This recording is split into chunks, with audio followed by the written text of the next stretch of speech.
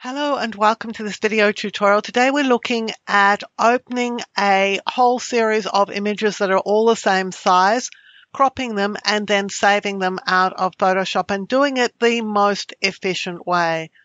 So with these images, I have some 12 by 12 scrapbook paper images. What I want to do is crop them to screen size because I want to use them to advertise my new class, but whatever you crop them for is up to you. But then I want to save the images out. So it's just a perfect example of trying to automate this system to be as efficient as possible. So I'm going to choose file and then I'm going to choose scripts and I'm going to choose load files into stack because this gives me a method of loading all 12 starter images in as layers inside a file. So I'm just going to click on that option. I'm going to choose files and I'm going to browse because I want to go and find all the images on my computer. And here they are in a folder. So these are all the 12 sheets of scrapbook paper. They're all the same size. I'll click OK.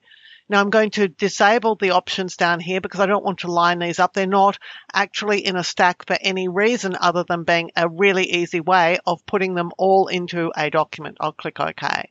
And Photoshop's going to open and open every single one of these files into a layer. So if I open up my layers panel here, you'll see that the files are now open and every single one of these JPEG images has gone onto a separate layer and there are 12 of them. Now these sheets of paper at the moment are 3600 by 3600 in size. I want to crop them to a 19 by 20 ratio. So I'm going to select the crop tool. So I'm just going to click on the crop tool. I've already set the ratio, so let me just clear this. I'm going to ratio and I'm going to set them to a 1920 by 1080 ratio. I don't want to actually crop a piece that's 1920 by 1080 because I just want the images to look like they have this chevron at this size. I'm just going to click here on the check mark. I have delete cropped pixels selected. So I'm just going to click on that. Now, if I want to size them down to exactly 1920 by 1080, I'm just going to image and then image size.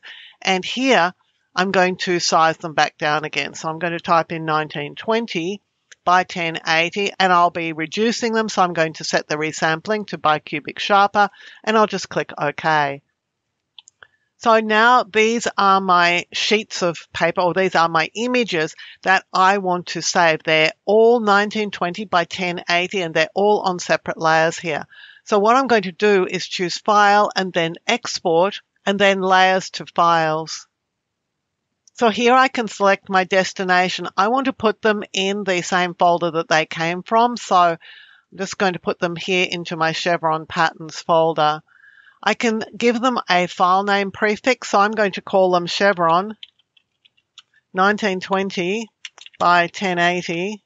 And then they're going to get a number and I want them all to be JPEG images and I want them to be reasonable quality, not super high quality. So I'm going to choose quality 10. I'm embedding the ICC profile so they'll take that with them.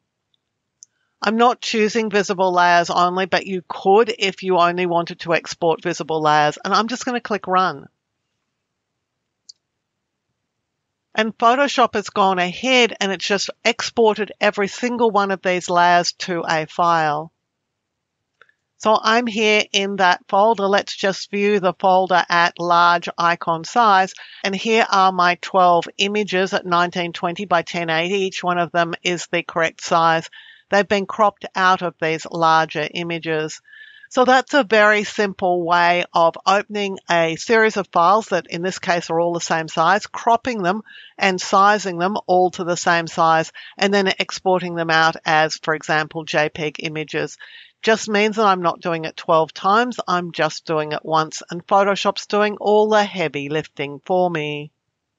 Before we finish up here, I have more Photoshop training at Skillshare.com when you sign up for Skillshare, you'll get access to thousands of classes there, including over 250 of mine. In the description below is a Skillshare coupon for you, which is at least as good as the current Skillshare offer, and typically mine will be better. Please feel free to share this coupon with family, friends, and co-workers. I hope you enjoyed this video and learned things about Photoshop of which you were previously unaware. If you did enjoy the video, please give it a thumbs up, hit the subscribe button and notification bell, and you'll be alerted when new videos are released. Until next time, my name's Helen Bradley. Thank you so much for joining me here on my YouTube channel.